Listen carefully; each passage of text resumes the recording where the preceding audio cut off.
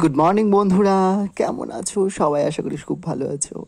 এটা আমার third day তামিলনাড়ুতে আমি আছি পোলাচিতে আর সকাল সকালে এই দেখো, ঘুম থেকে উঠে ময়ূর দেখছি। দারুণ মজা লাগছে।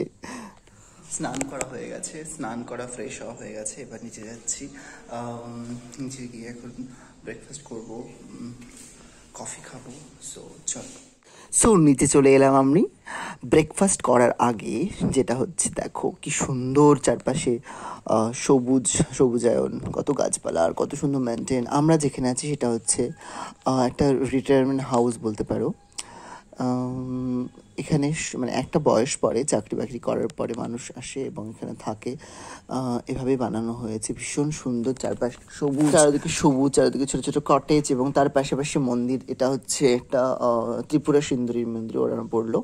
আর সাউথ ইন্ডিয়ার সব থেকে অ্যাট্রাক্টিভ জিনিস কি বলতো? মন্দির ইয়াস মন্দিরগুলো এত সুন্দর না দেখলে চোখ ধাতিয়ে যায় রীতিমতো এবং ভীষণ সুন্দর কারুকার্য। ওখানকার ইনফ্রাস্ট্রাকচার ভীষণ পুরনো এবং ওরা ওই ব্যাপারটাকে মেনটেন করে নিয়ে এগিয়েছে। এবং আমাদের এখানে হয়তো পুরনো ঐতিহ্যময় মন্দির আছে, কিন্তু এতটা সুন্দর নয়।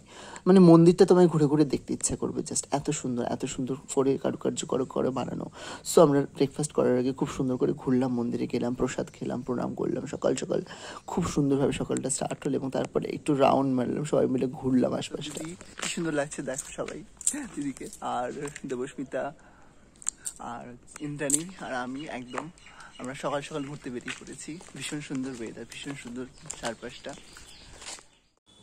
একটা লম্বা রাউন্ড মারলাম চারিদিকে। মানে দেখলাম, ঘুরলাম এবার ভীষণ সুন্দর সুন্দর ফুল লাগানো, তারপরে ব্রেকফাস্ট করতে চলে এলাম।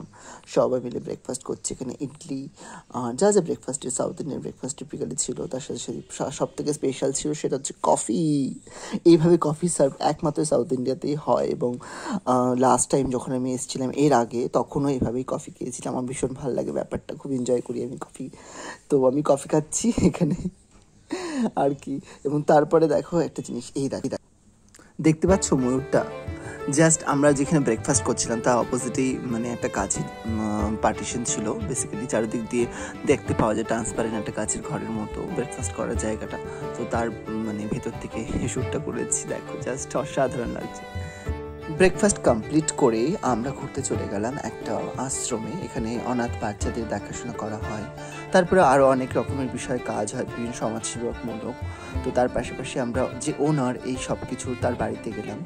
দেখো অসাধারণ বাড়িটা জাস্ট চারিদিকে অ্যান্টিক জিনিসপত্র মূর্তি এবং ইউনিক সব জিনিসপত্র। আমি, আমার, আমি জাস্ট পাগল হয়ে গেছিলাম দেখে মানে এত সুন্দর এভাবে।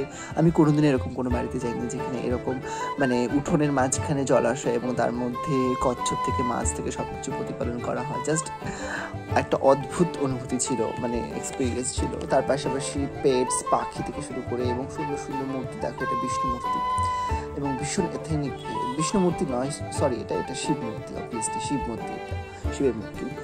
এবং তার পাশাপাশি অ্যান্টিক সব জিনিসপত্র এবং south Indian typical south Indian যে রাজকীয় একটা বাড়ি হয়, সেই বাড়ির মানে বাড়ি ছিল এটা। এবং আমার এত ভালো লাগছিল এই পাখিটা, দেখো। অসাধারণ সব কিছু মিলিয়ে এই পায়েস, এগুলো হচ্ছে মিনি শার্ক প্রতিপালন করার জন্য এই মাছগুলো। আর এই দেখো সরস্বতী মূর্তিটা, অসাধারণ। তারপরে আমরা ওখানে কিছুক্ষণ বসলাম, গল্প করলাম। এটা পার্সিয়ান ক্যাট বেসিক 你呀你那个那个你你联系我原来怎么在